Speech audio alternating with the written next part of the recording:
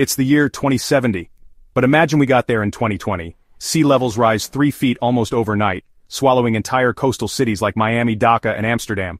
Mega droughts turn the world's breadbaskets into cracked deserts. Hurricanes strike not once a year but every single month. Billions are forced to flee. Borders collapse under the weight of climate refugees. The scramble for food and fresh water sparks conflicts on every continent. Wildlife vanishes. Coral reefs, the lungs of the oceans, bleach and crumble into dust.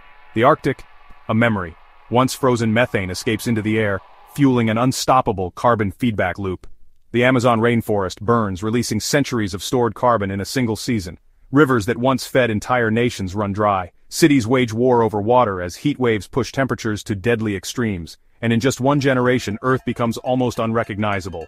If global warming accelerated by 50 years, could we adapt, building floating cities, farming in the Arctic, or would this be the tipping point that ends our story? Share your thoughts, and follow for more what-if scenarios.